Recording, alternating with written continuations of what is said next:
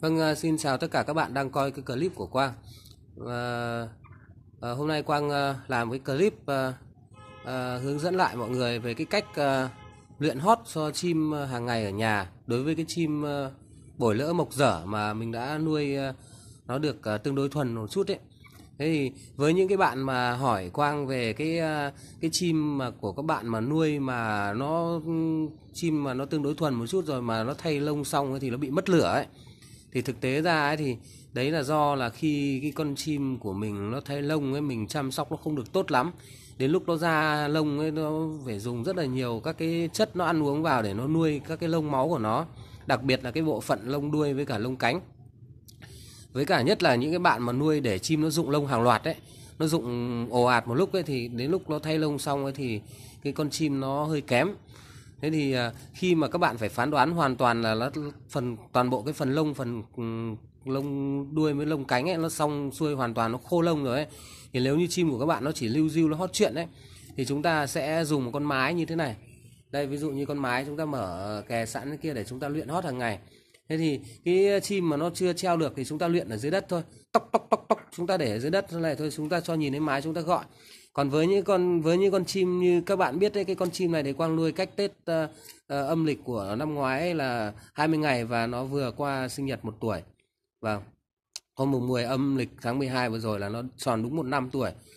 Uh, và mình đã mang cái con chim này đi treo ngoài biên của một cái câu lạc bộ uh, chơi họa mi hot ấy để cho các bạn xem uh, dãi trực tiếp rồi vâng và hai cái buổi đầu ba cái buổi đầu đi ấy thì mình sẽ có cái con mái mình kè vào. Và đến uh, buổi thứ ba buổi thứ tư uh, mình đi dãi thì uh, nó đã bắt đầu nó chơi chơi đấy nó bắt đầu nó chơi biên. Thế thì uh, cái buổi đầu ấy thì các bạn nên cho nó chơi độ khoảng uh, 15 phút. Cái buổi thứ hai thì nếu chim thấy có lửa dần lên ấy thì chúng ta uh, cho chơi uh, lên 30 phút. Thì với cái con chim này của Quang ấy thì cái buổi đầu Quang cho nó chơi đúng 15 phút kè mái và cái buổi thứ hai thì mình cho nó chơi lửa tiếng mình ngồi ngay cạnh mình gọi mồm. Và cái này thì ở câu lạc bộ ờ, họa mi mình mang ra mình chơi thì mọi người chứng kiến đấy mình ra mình ngồi ngay cạnh nó. Và cách xa cái đống họa mi thuần của mọi người ra. Và buổi thứ ba mình đã cho nó chơi được đến ờ, 45 phút. Và ngày mai thứ bảy thì ờ, mình sẽ tăng lên 50 phút hoặc một tiếng. Đấy mình sẽ cho nó đấu hót từ xa như thế. Và và đến cái cái giai đoạn này ấy, thì chúng ta tách mái hoàn toàn nó ra và và khi nào chúng ta luyện hot ấy, thì chúng ta sẽ dùng cái con mái để chúng ta cho nó nhìn thấy để cho nó tự tin lên một chút thôi. Đấy ví dụ như uh, cả ngày hôm nay ấy, thì mình uh, bận bịu với công việc ở dưới kia. Mình uh, đang dưỡng ở trên này thì đến bây giờ này mình cũng giờ này buổi trưa mình luyện hot cho nó được. Giờ này là lúc uh, 2 giờ chiều rồi hơn 2 giờ chiều rồi. Và đấy trước khi mình treo lên đấy thì mình uh, mở con mái sẵn như kia.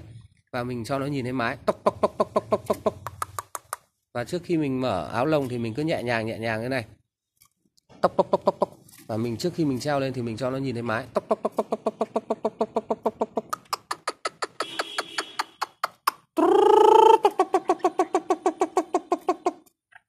ọc ọc ọc ọc ọc ọc ọc ọc vâng và khi uh, nếu như chim mà nó chưa tự tin quá thì chúng ta sẽ để đất chúng ta luyện thế này khi nào nó tự tin hẳn nó căng lửa hẳn thì chúng ta ăn treo vâng và đây quang treo thử lên cho các bạn xem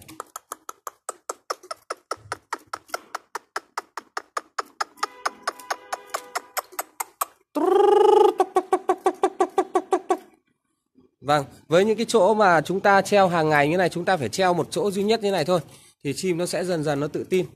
Và cái thứ hai nữa là khi chúng ta treo lên thì chúng ta có thể treo cái con mái kè nó vào để cho chim nó tự tin. Khi nào mà chim nó bắt đầu chúng ta gọi mồm mà chúng ta bật các cái file lên mà khi nào chim nó hót lắc lư nó tự tin rồi thì chúng ta tiến lại gần. Kể cả nếu mà chúng ta muốn làm quen với con chim và sờ vào lồng ấy thì chúng ta lên có cái con mái ở bên cạnh như này. Và cái giai đoạn này là giai đoạn rất là quan trọng này khi mà cái chim bổi lỡ mộc dở các bạn lên ấy cái giai đoạn này là để mà mang được đi chơi ấy thì rất là quan trọng chúng ta không được bỏ qua cái giai đoạn này. Chúng ta phải thường xuyên mang đi dãi uh, hàng ngày ở một cái chỗ lạ nào đấy cho nó quen thuộc để nó bật lên. Và một tuần thì chúng ta mang ra câu lạc bộ có thể hai buổi nhưng mà chúng ta treo xa ra treo biên thôi. Đấy đừng có treo gần vào và chúng ta cho nó chơi cái lượng vừa phải thôi. Nó từ từ chúng ta vực lên đấy, chứ đừng có mà nghe mọi người là treo thẳng vào dàn ấy là rất dễ đến con chim mà nó tố chất quá thì nó sẽ bám với vanh, nó sụp đánh. Thì ờ, còn cái chim mà nó không có tố chất thì rất dễ, sẽ dần đến cái chuyện nhảy hoảng. Và top người lại và nặng hơn nữa là bù đầu. Thì ờ, rất là phí công chúng ta nuôi dưỡng đi. Và và cái ờ, luyện hót hàng ngày ở nhà thì chúng ta lên luyện như này. Và có con mái như này, sau khi nó hót rồi thì chúng ta tách hoàn toàn mái nó ra.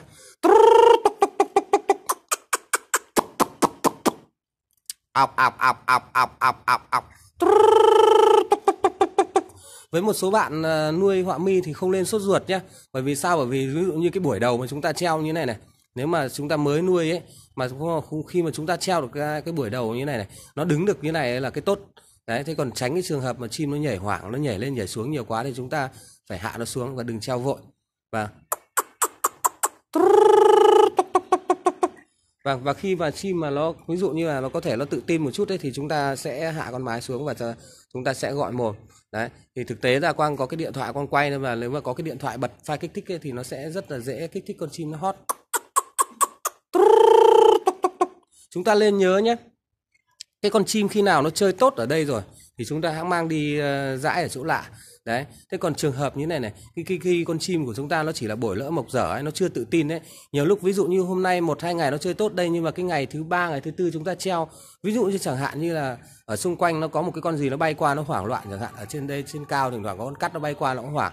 Chẳng hạn như là uh, chúng ta đây ví dụ như quang nói phơi quần áo ngay bên cạnh là nó cũng không tự tin chẳng hạn thế ví dụ như chẳng hạn cái quần áo này gió nó bay cái nó cũng không tự tin. Thì chúng ta phải uh, cố gắng chúng ta luyện dần dần thì nó quen. Đấy thì cái cách mà muốn cho con chim nó tự tin thì chúng ta dùng cái con mái như này. Đấy chúng ta sẽ cho nó nhìn thấy mái như này. Vâng đấy đấy là cái cách luyện hót của quang nhé đấy chia sẻ với các bạn như thế nhé vâng à, thôi à, quang có điện thoại thì hẹn các bạn ở các, các clip sau nhé alo that